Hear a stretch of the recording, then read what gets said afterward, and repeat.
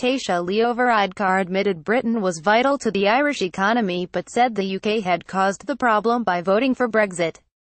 Mr. Varadkar threatened to block the progress of Brexit talks over the Irish border issue, put to him that the UK was Ireland's biggest trading partner, and it needed Britain as a friend, the Taoiseach agreed.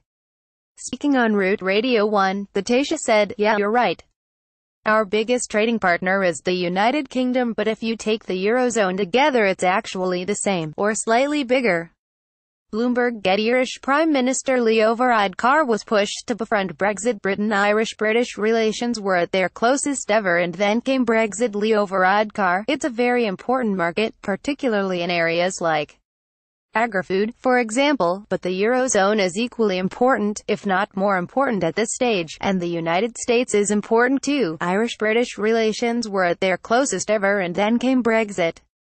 Brexit is not our policy, this is their policy, it's a disruption and it is causing problems for us. Mr. Varadkar has demanded a written guarantee that Britain will not push for a hard border. He said, We've been given assurances that there will be no hard border in Ireland, that there won't be any physical infrastructure, that we won't go back to the borders of the past, we want that written down in practical terms in the conclusions of Phase 1. Ireland's EU Commissioner Phil Hogan told The Observer that Ireland will play tough to the end over the Irish border issue. Mr Hogan said, if the UK or Northern Ireland remained in the EU customs union, or better still the single market, there would be no border issue. That's a very simple fact.